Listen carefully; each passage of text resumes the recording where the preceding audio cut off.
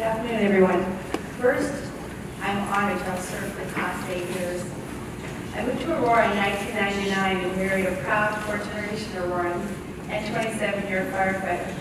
When I first met Brad, his tagline was, "If it's not in Aurora, it can't be this." And you know, he's right. I love this town, and I truly wake up every morning feeling blessed that I live here. We raised our two children, Jennifer and Stephen, and now we have our grandson, seven-year-old who loves Aurora. His favorite is Wednesday night music in the park and every Saturday uh, Aurora Farmers Market. When I first moved here, what I loved the most was that I was involved in many town committees and was able to make a difference. The ability to make that difference led me for uh, Toronto Council in 2010. With over, with over 30 years of business experience, uh, uh, I'm sorry, business experience, problem management, and working for a large television, telecommunication company, the experience allows me to work well with my council peers because I realize it takes more than just one counselor. We all have to work together to make the town business move forward. I have experience in working with all levels of government, and it impacts how we make our decisions on council.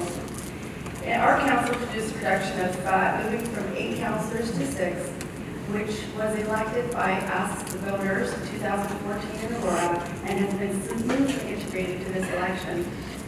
My respect and passion for heritage is proven with the protection of our properties, our heritage properties, and creating a motion which demands a higher property standard for these precious gems. I strongly supported the purchase of the Mavrinac lands to be served for parkland, allowing residents in the area, all of Aurora, to enjoy a park instead of potential subdivision.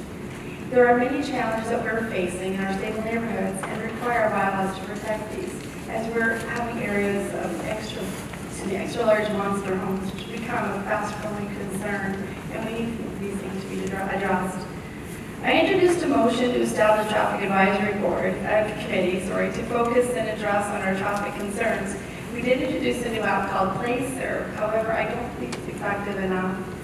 I'm honored to have re-elected, re-elected, I would pledge to reintroduce the traffic safety board, because I do believe this traffic is is a huge concern. I'm excited about the amazing opportunity that Library Square has to deliver.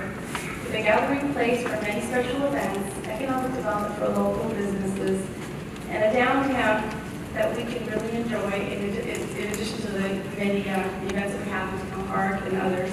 Um, That we can actually have maybe the Aurora uh, Piazza that dreaming of, been dreaming of. For me, most important will be to be, to be, sorry, deliver and improve our basic infrastructure, which also, which includes uh, water quality, waste reduction. Is that, am I over? Oh, I'm sorry. Well, I just want to say thank you very much for your support as well. And uh, look for the little signs with the big red hearts. Uh, I love this and